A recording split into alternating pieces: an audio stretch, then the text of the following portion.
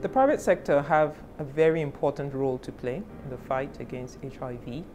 They bring funding, but not only funding, they bring the organizational capabilities, you know, to the table. Um, they bring the capacity, you know, to execute. And um, they are a critical partner in the fight against HIV.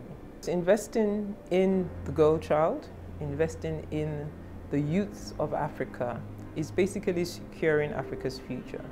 Um, we will together enable um, healthy young people to be educated, to be productive, to contribute um, to the economy and really become assets and not liabilities you know, um, to their countries.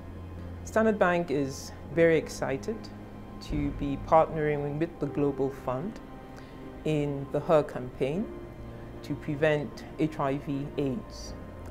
We are partnering both financially and non-financially. So we have a commitment to provide $2 million in direct cash contribution. We are also, together with our staff, our clients, going to participate in fundraising activities to raise up to $2 million. And we believe that our partnership will help you know, to combat the eradication of HIV. It's important because Africa is our home and we drive her growth. We believe that we must participate in ensuring that the communities in which we operate are healthy and are productive.